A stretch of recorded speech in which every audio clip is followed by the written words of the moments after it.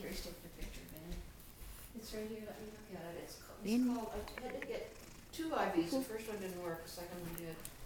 Corvert ibutilide, Keeper. does that make sense? Okay.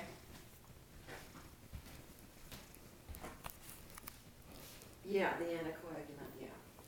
So anyway, but I'm good, I went out walking this morning with my group and, and, uh, I'm gonna go up, out to dinner tonight, so. And you're going to Alex and Dee Dee's, huh? Okay, well, you, how, and your, your dad's not doing so hot, Andy said.